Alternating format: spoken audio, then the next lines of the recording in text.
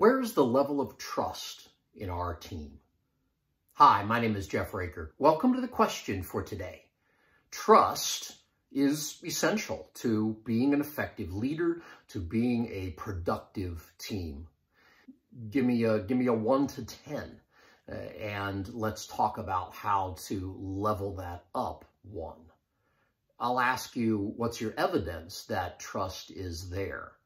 Maybe the question is, who has your back and whose back do you have? Do your people trust that they know what you're going to say about them? Do you trust that you know what they're going to say about you and about the company? This is some evidence that trust is either good or not good. How will you build trust? How will you grow it? What is trustworthy in you? Level up your leadership with this question for today.